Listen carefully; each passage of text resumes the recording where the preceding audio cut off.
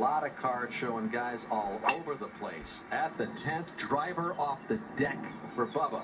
He's eyeing it. Oh, I got some good hops there, didn't it? Some really good hops. did. Just short of the green.